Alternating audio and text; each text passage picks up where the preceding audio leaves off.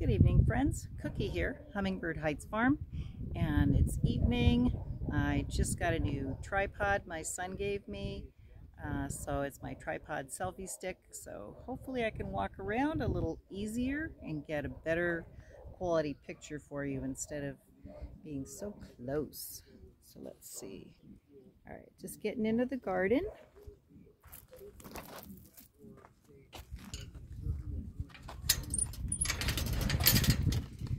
Got a few plants that are coming along.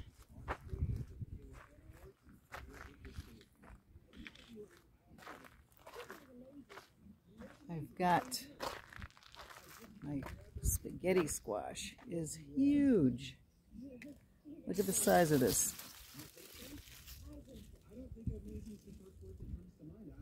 That is a big boy probably could make that for dinner one night. Get my homemade spaghetti sauce that I made last fall from my all my tomato bounty.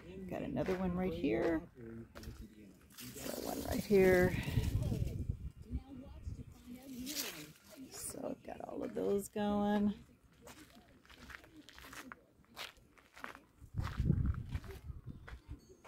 Got cucumbers trying to come on here trellising is really nice. I don't see any cucumbers on them yet. I had one that just popped out in my garden. And it's trying to trellis, so I'm trying to keep him up.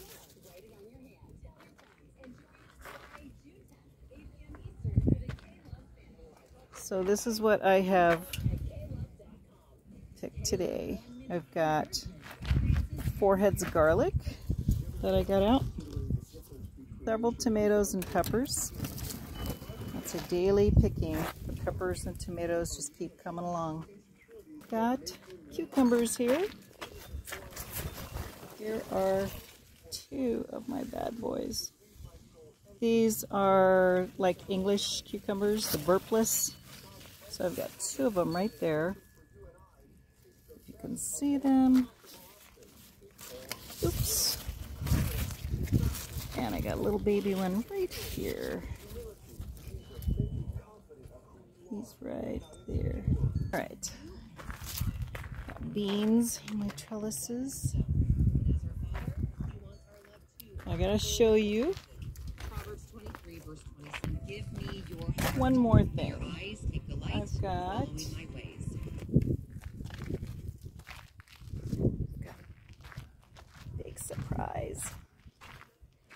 this I saw this morning. Let me see. Look at nice little watermelon. He's almost as big as my hand and he's getting stripes. He was just light green and I've got some little baby clusters of tomatoes here. It also has some clusters here. This was my volunteer tomato plant. I did not plant this.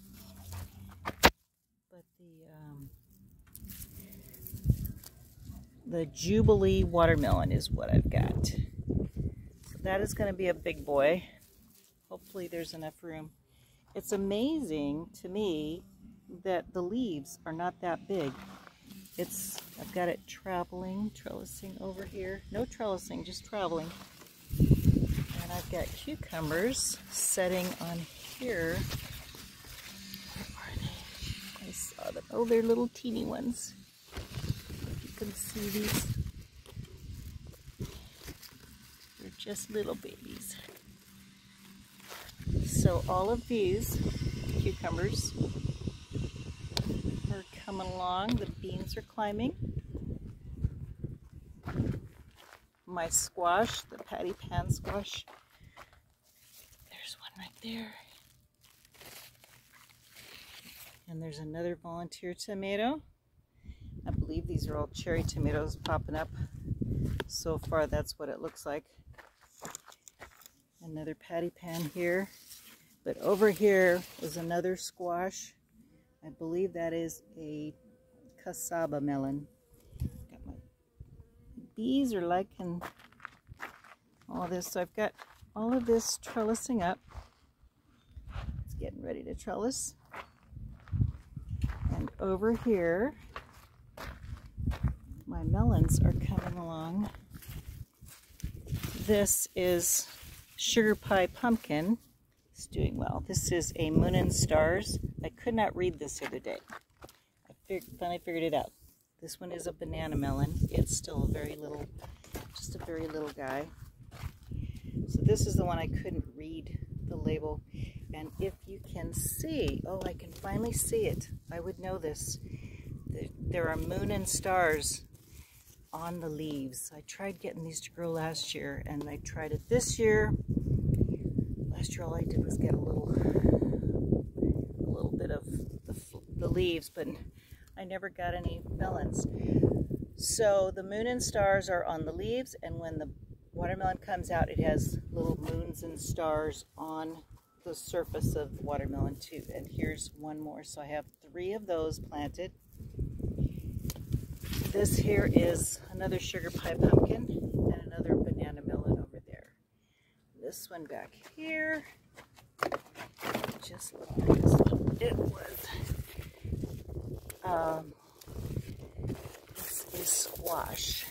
I think it's San Marzano, something Marzano, but it's a squash. It's a yellow squash, and it's going to be like a regular eating squash. I just didn't plant any of the normal green ones. I don't like the normal stuff. I mean, I do, but I like the unusual. My jicama is coming up. So here's jicama, and here's one of them right here. Here's some more right here, the little sprouts. These are my beans. Since I covered them, I just laid some netting over the top and they popped up because the birds were coming and pecking the leaves before they could even develop. Once they get big enough, they'll be fine. I'll take it off. This is my golden honeydew. And look at all the, these are my green honeydew. Big patch of them. So those are doing well. And then again, this is another golden honeydew. And this is another watermelon Let's see. Oh, another sugar baby. I like the little baby ones. So I did plant a few. And butternut squash. I'll be looking for that for the fall. And this over here is my, these finally sprouted. This is sugar beets. They'll be the white where you would make sugar. Let's see if I can get him out of here. Oh, my my basil is going, but look at this crazy squash leaf. Just one squash plant in here and it has, it's filled a third of this bed. And there's my, there's my red cabbage over there. Be patient, I'm trying out the new tripod. That means I'm gonna change the angle, tighten it. Thank you, Eric and Julie, for my wonderful gift. This is such a treat, but I'm learning to operate, so you guys get to come along. I'm coming in with my clippers, and I'm going to take out my head of cabbage. It's just too hot for them. They're just not moving along any further. And I just think it's a shame to not get them. Oh my goodness, they, this is a big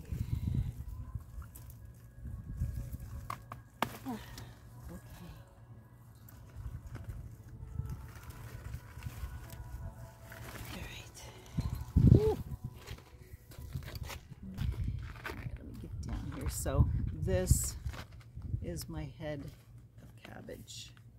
Now it's not huge, but it did say on there that they're not going to get as big as a regular cabbage head. So all of this, all these outer leaves will be great compost.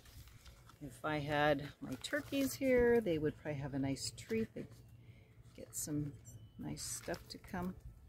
But this is going to go in to the house. And this will be, this is my first red cabbage. Very exciting. It's evening.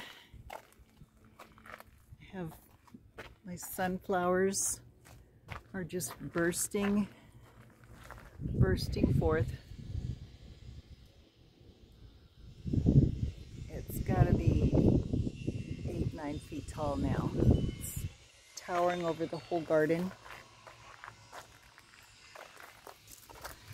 My, tomatoes are ripening. These are more garlic. They kind of have a fan shape to them. So the, the other ones just died off. So these are getting there. As they die off, then I'll be pulling them up. So this is my little lineup. My tomato barrels. Pepper plants.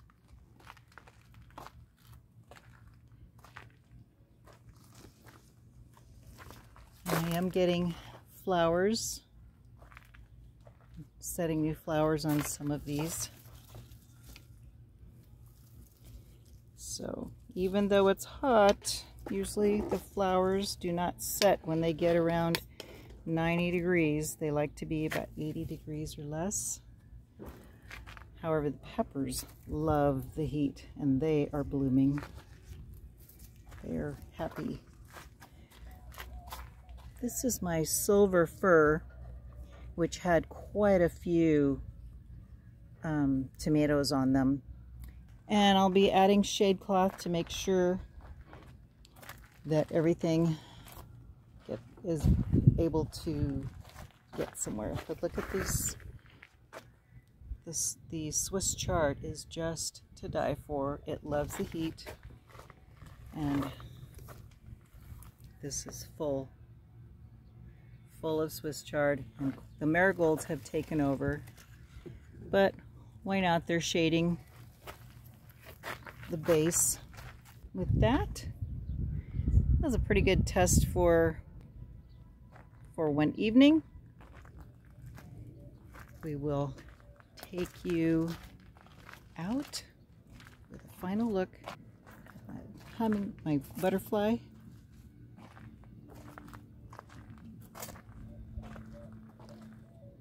and my sunflower, my hummingbird in the sunflower, ready for evening.